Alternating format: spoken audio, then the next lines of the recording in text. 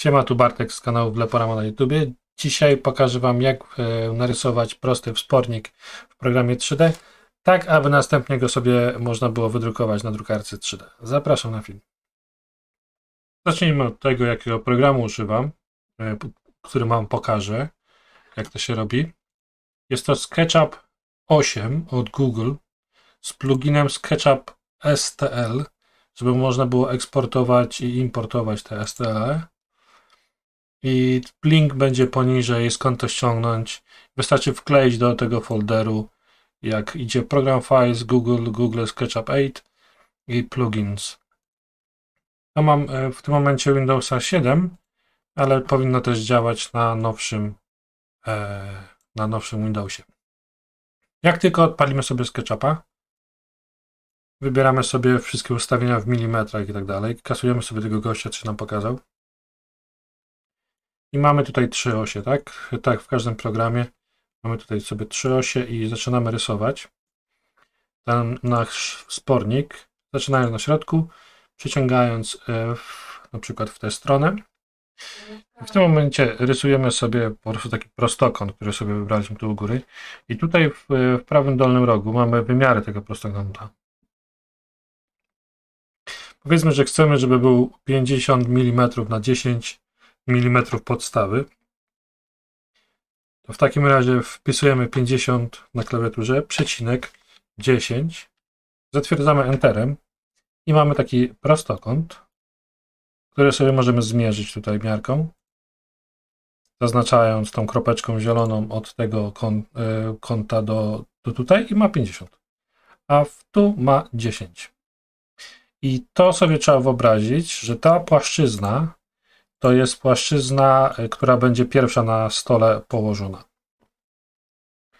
I tu teraz nie wiem, jakie będziesz potrzebował wspornik, czy w ogóle wspornik będziesz potrzebował, czy po prostu coś porysować. Ja sobie zrobię takie L, dodam sobie tutaj e, tak z 25 mm na 10 i tą linijkę tutaj sobie usunę iris. I teraz tak, jeśli chcemy, żeby to było tylko L, to wybieramy sobie narzędzie Push Pull, takie pudełko ze strzałką do góry. Naciskamy i przeciągamy w którą stronę chcemy, ale najlepiej ściągnąć do góry. Z tym, że no jak naciskasz kółeczko na myszce, to możesz sobie tak obracać. Z tym, że trzeba się popatrzeć od dołu, czy ona jest zamknięta. Jeśli nie, to będziemy musieli przeciągnąć różnie, równie w drugą stronę lub nacisnąć na przykład Ctrl na jakiejś danej wysokości i to nam zrobi e, to nam zrobi dodatkową powierzchnię. Na przykład wyjechaliśmy sobie 10 e, e, centymetrów, znaczy milimetrów, sorki. Można cofnąć na Ctrl Z i na, na przykład trzymając to, możemy sobie znowu wpisać 10 Enter i teraz ta wysokość ma 10 mm. Mam nadzieję, że to jest tak jak na razie proste. Jak widzisz, mamy już taką bryłę 3D, którą możemy eksportować. Po prostu wybierając file, eksport STL, model units, ASCII, tutaj nic zaznaczamy, eksport i na przykład dajemy sobie to na pulpit, czy gdzie tam potrzebujemy ten save i możemy od razu wrzucić do programu e, slicera, czy jakieś cury, tak? To jest najprostszy sposób, jaki można sobie zrobić taki wsporniczek. A na przykład chcemy tutaj mieć otwór w tym miejscu. Co możemy zrobić? To możemy wziąć miarkę i zmierzyć na przykład, że otwór ma mieć 10 mm środek od krawędzi, nie? Czy tu można tak zrobić, czy tak? Tak samo można sobie wziąć miarkę. Ctrl Z, jak się coś nie uda. Tu mam punkcik 10. Jak mam niebieskie, to znaczy to jest ta linia e, do góry, to jest Y, e, to jest Z, sorry. To jest Z na drukarce 3D. E, dajemy sobie tu i wiemy, że wiemy, że mamy odmierzone 10 mm w tę i w tę stronę. Możemy sobie wziąć ołówek i zrobić tutaj linię i następnie połączyć kąty. No tak, tylko policzyliśmy, że tutaj 10 e, mm od krawędzi ma być środek, więc środek możemy narysować po prostu przeciągając od tego krzyżyka w tę stronę i wiemy, że teraz tutaj jest środek od lewej do prawej krawędzi i odtąd dotąd jest 10 e, mm. Gdybyśmy na przykład chcieli tutaj od razu zrobić otwór, to od razu bierzemy sobie teraz kółeczko, naciskamy na środku i to jest ważne, żeby było czerwone, a nie inny kolor, bo czerwony to jest ta oś tutaj, czyli w tą stronę będzie otwór. I na przykład zróbmy sobie otwór tutaj. Znowu mamy pokazany teraz radius w prawej dolnym rogu. Jeśli jest 2, to średnica koła, jeśli się nie mylę, będzie 4. Bo radius to jest połowa. Kasujemy ze środka e, te linie pomocnicze, które sobie narysowaliśmy. I teraz bawimy się znowu naszym narzędziem, którego będzie dużo, dużo używać. Push pull. Naciskamy tutaj, możemy go wyciągnąć, jeśli chcemy mieć na przykład taki, nie wiem, hak holowniczy czy coś, albo możemy go wsunąć do środka i tutaj, jak się nam pokaże czerwona kropka, puszczamy myszkę i w tym momencie mamy otwór na wylot. Możemy sobie, jeśli chcemy, te wszystkie linie pomocnicze usunąć. No, możemy je po prostu zostawić.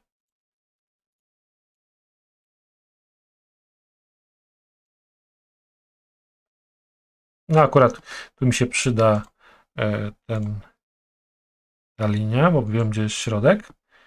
I w tym momencie jednak stwierdziłem, że nie wystarczy mi sam otworek. Będę potrzebował fasolkę, żeby można było ten otwór przesuwać w te i we w te.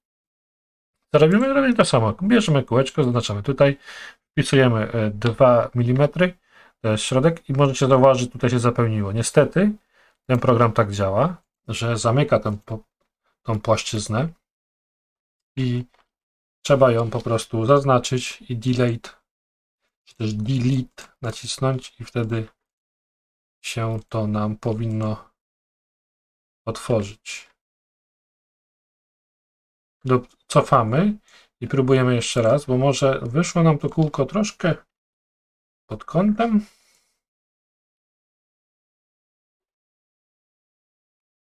No tak. Zawsze tak jest, nie? Że jak próbujesz komuś coś wytłumaczyć, to to nie działa po twojemu, to działa swoim życiem i się tego w ten sposób nie da zrobić. Co wtedy? Możemy napotkać w różnych programach jakieś błędy.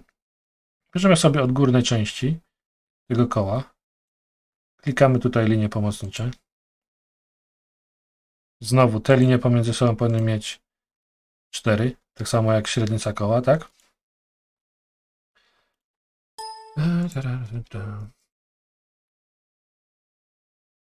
I możemy tu sobie namalować promień. Zaznaczamy jedno, drugie i wtedy Pokazuje się nam połowa koła. Naciskamy i znowu kasujemy wszystkie pomocnicze linie. Bierzemy nasz push-pull, przyciągamy do tej krawędzi i mamy fasolkę na wylot. Nie chciało się zrobić e, z dwoma kołami, ale pokazało się e, jednak z tym, z tym półokrągiem dało się to wykonać. Tak samo możemy zrobić tutaj. I na przykład możemy narysować sobie kwadrat, który ma 10,10. 10. Enter. Bierzemy ołówek, zaznaczamy sobie środek. Jeśli od tego środka chcemy na przykład, żeby od krawędzi było 15 e, mm, no to tutaj do środka mamy 5 mm, to jeszcze 10 mm w tę stronę. Znowu wpisujemy Enter i mamy środek. W tym miejscu zaznaczamy sobie zielonym, przesuwamy 2 mm radius, czyli, um, czyli wtedy mamy 4 dimension i tak samo przeciągamy. Możemy go przeciągnąć dalej, ale nie potrzebujemy. Do krawędzi puszczamy i mamy. Usuwamy linie pomocnicze. I na przykład chcemy, aby ten nasz wspornik był jednak zaokrąglony na końcu. W pewnym stopniu. No to znowu możemy czy to miarką, czy to długopisikiem zaznaczyć 5 mm, czyli środek tego. Potem mamy 5. I na przykład możemy sobie zaznaczyć tu i łuk w ten sposób. I tak samo push-pull.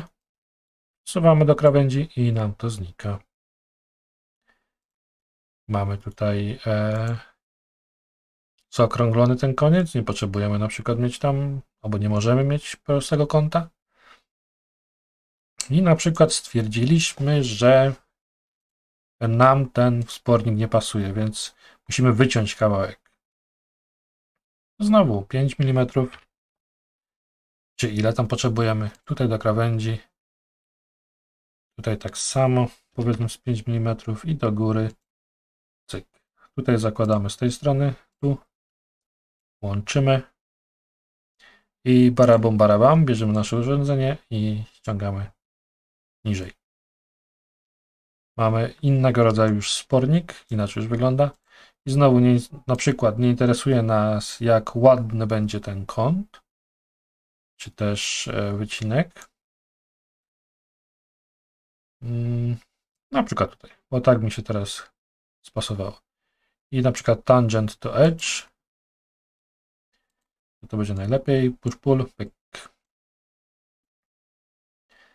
Jeśli na przykład chcemy zrobić okrągły, okrągłą końcówkę tego, tego spornika, to bierzemy sobie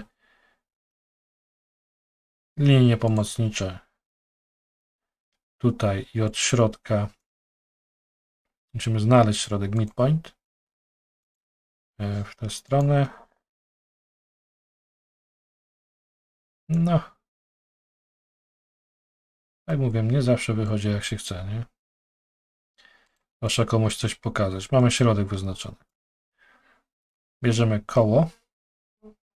Staramy się widzieć w tej płaszczyźnie. Powinniśmy być zdolni nacisnąć na środku tego, ale to się nam teraz oczywiście znowu nie chce e, uruchomić. Coś chyba nam się krzywo narysowało. Coś tu nie pasuje. Chodzi mi o to, że musimy zaznaczyć środek koła, następnie na jego środku. E, no tu się coś Mm. No to tu mamy pokazany center. Program nam pokazuje. Chciałem to inaczej zrobić, no ale na sam sposób to e, działa. Przesuwamy koło do krawędzi pod kątem prostym. I tu nam się zrobił nadatek, który wynika z tego, że ten półokrąg wyciąłem sobie ręcznie, nie mierząc e, nic w tym stylu. I znowu bierzemy push-pull, to możemy skasować, do krawędzi nie ma. Prawda? Jeśli chodzi tutaj o to, to możemy sobie to też przeciągnąć i skopiować do krawędzi tam. Wtedy to jest kontynuacją tego koła, ale ja proponuję nie robić tak i skasować to, co nam się tutaj pokazało, po prostu iris. Mamy tak może niedokończony, nieładny, ale, ale jest to mniej skomplikowany wzór, jako że później to zapisać, żeby to drukarka widziała prawidłowo czy ta, ten slicer, ten Cura. I takie coś mamy tu teraz zbudowane. Powiedzmy jeszcze chcemy ten kąt wygładzić.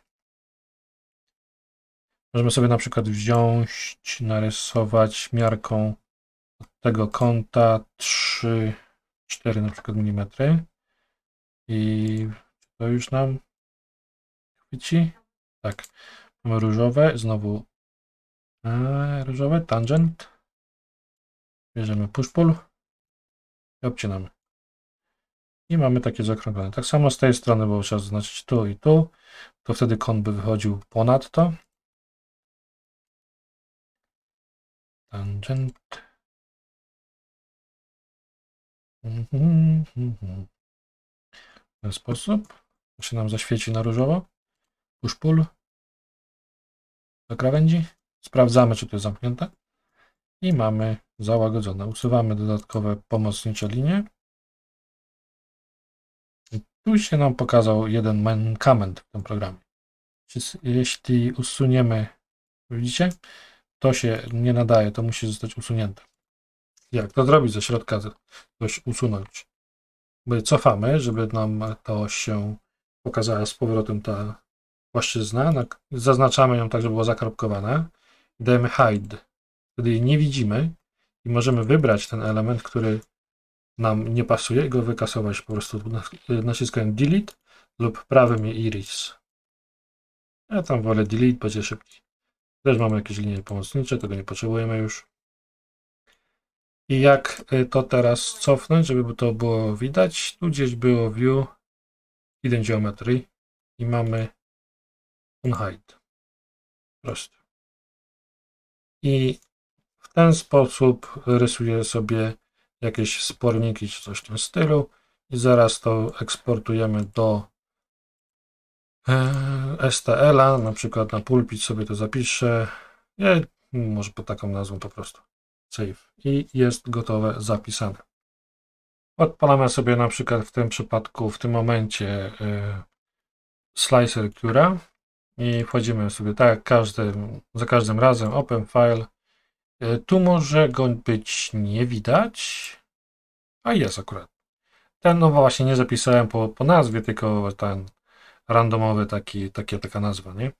Open i mamy to tutaj prepare i widać tutaj, że nie ma żadnego problemu z tym e, plikiem, bo może być tak, że któraś, że gdzieś jest błąd po prostu, tu coś jest nie tak, ale nie sądzę, żeby to był problem, aczkolwiek sprawdzimy to za chwilkę.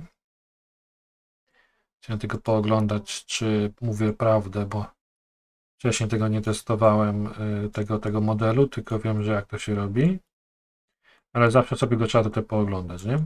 Mamy wszystkie te otwory, wygląda to nam prawidłowo, tylko tu mnie to martwi, te linie e, na tych powierzchniach. Ale po prostu to sobie bierzemy, e, ustawiamy jak chcemy mieć e, wydruk, dajemy slice i sobie sprawdzamy w preview. Preview nam pokazuje, że nie ma tu żadnych artefaktów. Cały ten sporniczek jest narysowany prawidłowo. Możemy sobie popatrzeć spod dołu. Wszystko nam tutaj wygląda prawidłowo. Gdyby coś było nie tak, byłoby trzeba po prostu wrócić do tego programu SketchUp i w nim poprawić ten E, ten element i jeszcze raz go eksportować. Jeśli się okaże, że ten spornik jest za mały, to tak samo w SketchUpie. Nie tutaj, tutaj nic nie robimy. Tutaj to jest tylko slicer, nie powiększamy, zmniejszamy nic, tylko ustawiamy, czy ma być, e, jaki ma być infill, to wypełnienie, jaki ma być prędkości i czy supporty, czy nie, czy ten raft, czy brim, czy co. I w ten sposób robimy sobie taki prosty wspornik. Jeśli mamy więcej czasu, cierpliwości, możemy narysować coś innego. To tylko zależy od tego, co potrzebujemy, prawda? Dziękuję za oglądanie. Jeśli się spodobało, daj łapkę w dół albo w górę, jak chcesz, to zależy od Ciebie. Możesz tam udostępnić ze swoimi ziomeczkami, co tam, jak tam.